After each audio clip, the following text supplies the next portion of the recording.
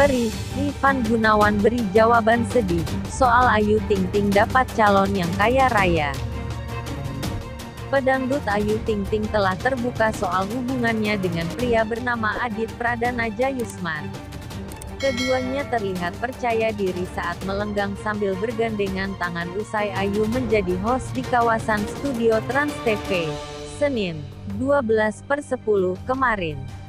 Kabar kedekatan Ayu dan Adit pun sempat dibahas dalam acara yang dipandunya bersama Ivan Gunawan dan Ruben Onsu, Brownies Trans TV. Di acara itu, Ivan mengaku sejak Ayu berpacaran dengan Adit, pelantun lagu Geboy Mujair ini kerap gonta-ganti mobil. Yuk, lo udah lima hari ini datang ke Brownies mobilnya ganti setiap hari. Laki lo dealeryu, tanya Ivan Gunawan. Ayu pun menanggapi hal itu dengan bercanda. Namun Ivan yang penasaran kemudian kembali bertanya pada ibu Bilkis itu. Gak, soalnya gue perhatiin dia mobilnya ganti terus loh, kata Ivan lagi.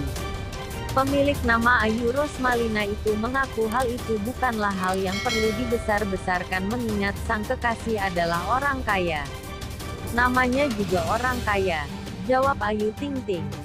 Merespons jawaban Ayu, Ivan pun berceletuk bahwa dirinya merasa senang bahwa pedangdut itu mendapatkan calon pendamping yang kaya raya.